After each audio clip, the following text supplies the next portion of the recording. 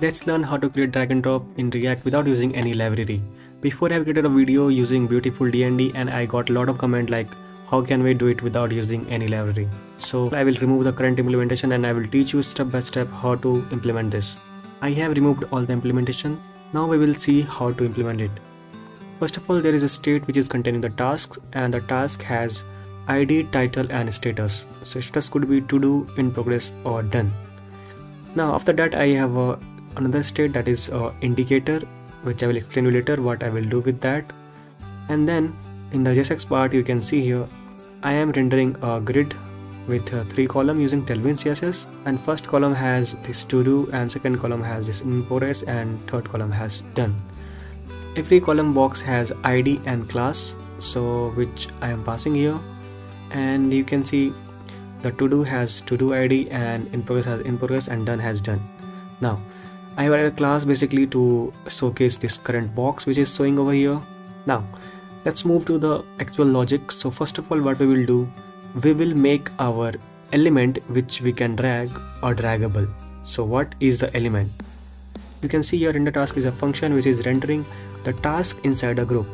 So if we have to do, we are calling this function with to do status. If we are rendering the task of in progress we are calling the in progress and if we are entering the task of done we are calling done. So this element has to be draggable. So what we'll do we will add a draggable boolean true. And then we have to add two event which is on drag start and on drag end. So whenever the drag will start this event will be trigger so we are going to add this on drag start. And with this i'm currently logging console log start. And I will add on drag end and we will add the console log drag end. So let me open the console here and I will try to drag and you can see here as soon as I leave the element the drag end is triggered. So this thing is working. Now we will write the logic for on drag start. So let's let's create a function called const handle drag start. So this function will take two argument. One argument is event and second argument will be task id so why task id because we have to track which task is being moved here and there. So for that we will be getting this task id now after that what we will do? So event has this data transfer object. So event dot data transfer and in that data transfer we can set any data. So we have to get this task id so we will set this set data text plain or you can simply pass text as well and I'm passing this task ID as string. Now I will use this function instead of this console log thing and I will pass it here.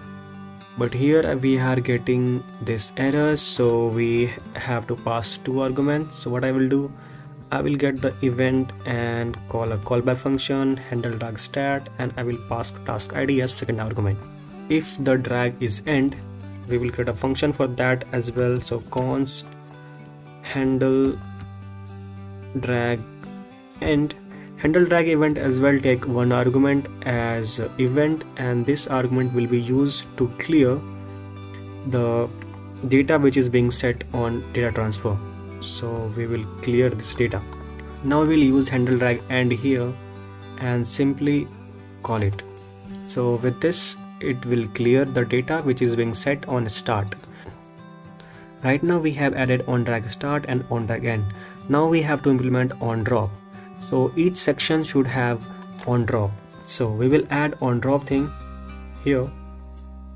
So on drop what we will do we will call a function. So for that we have to create a handle drop function. So handle drop will take two argument uh, event and status we will use event dot default and then we will get the id from the data transfer. So we will create a variable const task id and get the data which is being set here using this key. Now we will uh, map through the current task and we will update the state. So for that i will call set task and using this callback previous state and we will map through all the previous state and whenever the task id is being matched so this task id and the task id which is coming from the event data transfer we will update the status with the current status in which the task is being dropped. So what is happening actually i will explain you. So the thing is like if i am moving this particular task to uh, in progress thing so what will happen? We will iterate over all this task array and we will change this status object only. So what it will become then?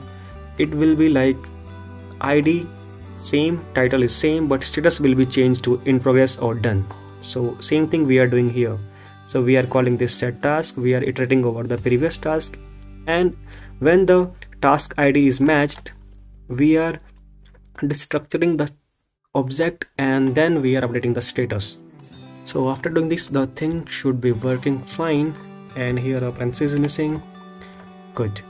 Now we have to add this handle drop function on the all the section where we can drop the task. So we will add on drop here on drop here and on drop here. It is complaining because what we have done is we are not passing two arguments so we will be getting this event and we will call this uh, handle drop and we will pass event and the status. So for this we have this uh, to do and for this we will be having uh, in progress and uh, for this we will be having done. So after doing this everything seems working fine but one issue should be left that I will explain you. Let me uh, show you the thing should be uh, movable but the drop thing is not working. Why? Because there is a thing which you have to be aware of the on drag over. So what this event do actually whenever you are dragging something it will restrict you to drop data or elements to other elements. So to allow this what we have to do is prevent the default handling of this. So for that we will use event dot prevent default. So wherever is on drop uh, we will add on drag over as well. So for that I will create a on drag over handler. So we will call handle drag over which is not defined right now. We will define it right now.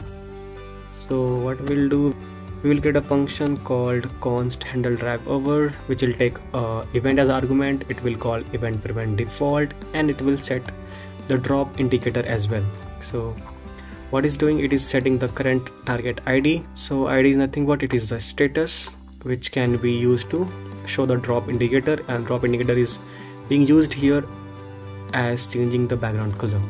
So let me refresh once and if we are dragging dragging the things you can see here we can drag the task here and there. And uh, the indicator as well is working fine. So that was it for this video. I hope this video was helpful. If this video was helpful please make sure to like share subscribe. Thanks for watching. Have a nice day. God bless you. Keep working keep learning keep hustling. Bye bye